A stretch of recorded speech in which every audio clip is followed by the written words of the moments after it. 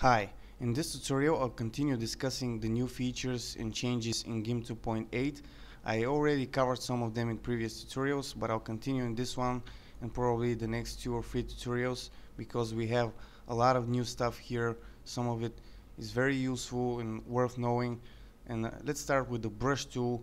Now we have the ability to change the aspect ratio, the angle of the brush here from the two options in GIMP 2.6 we were able to do that but by creating a new brush in the brush editor and now we can change this from here very quickly and easily. So let's select this star brush for example.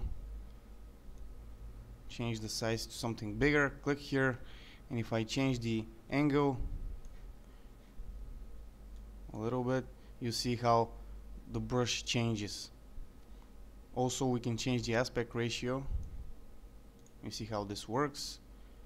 We can also now reset each of these separately. In GIMP 2.6 we can only reset the entire tool tools options. Of course these work uh, differently for every brush. For example if I select this circle brush and reset these you see how it looks by default. And if I change the aspect ratio you see how this brush looks. Maybe I can change the angle a little bit you see how this works. I'll click the delete key to get rid of these. Another new feature we have here is the smooth stroke. Let me reset this. If I paint like this without having the smooth stroke you see how the brush behaves. If I select this and uh, increase the quality also the weight you see how the brush behaves now. Another useful feature that's been missing from GIMP and now it's here again let's click the delete key to get rid of these and jump to the crop tool. We have two new rules here. Uh, ru uh, actually two new guides. Rule of fifths. You see how that works. Escape to, to escape the crop. And another new is diagonal lines. You see how this looks. Another new feature in GIMP now let's jump to the text tool. Now we have the ability to change the language. Uh, we don't have a drop down menu, but you can type, for example, let's say for French. You can select French and then um, choose the appropriate font. Let's say Russian. You can select any language you want.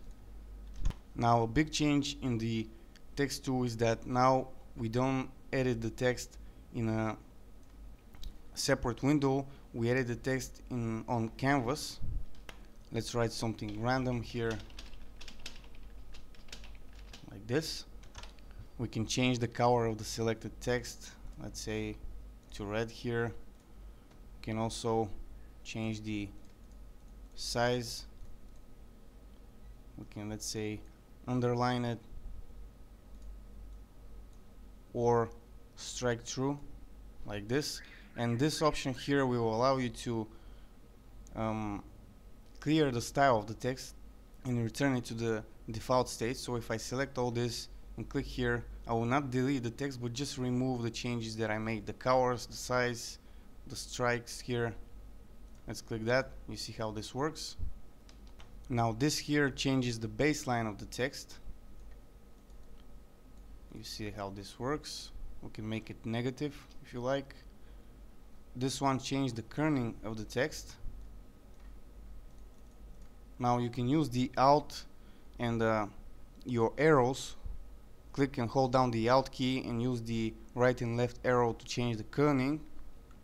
And if you want to change the baseline is the up and down arrow like this. Keyboard shortcuts. Something that I, I don't like in this new on canvas editing is this one here. We have the ability to change the font but we don't have a drop down menu so I have to actually write something here to get fonts.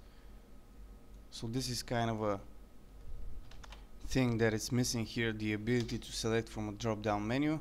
And uh, some other change big change now text along path is been moved here. You have to uh, right click and you'll see text along path. It's here. You can find it in the tools options.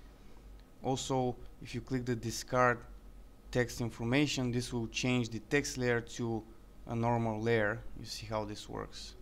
You can also find these options here in the layer menu. So that's it for this tutorial. Like I said there are a lot of new changes and new features so it's gonna take some tutorials to cover most of them. So I'll continue in the next now. Bye for now